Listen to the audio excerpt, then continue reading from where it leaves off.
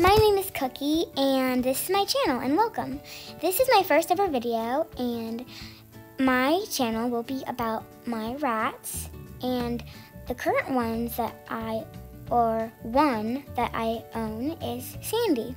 My sister owns the other rat that you've probably seen, the black one, Shadow. These two rats are quite cute, and I hope you will enjoy looking at these pictures to start off.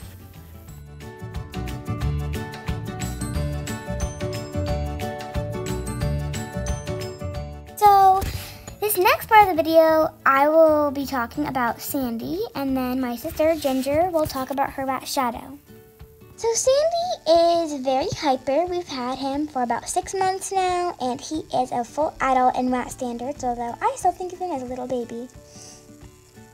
When we aren't playing with him, he's usually either, well, eating or running around.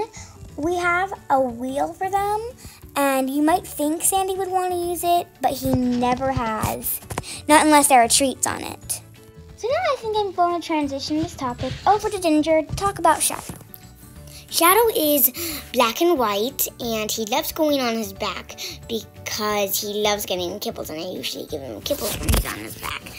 And he also likes being lazy. He really likes being lazy.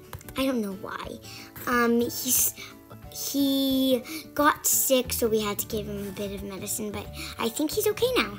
And he's back to the cute baby he is. Thanks for that, Ginger, and also thanks for watching. Bye!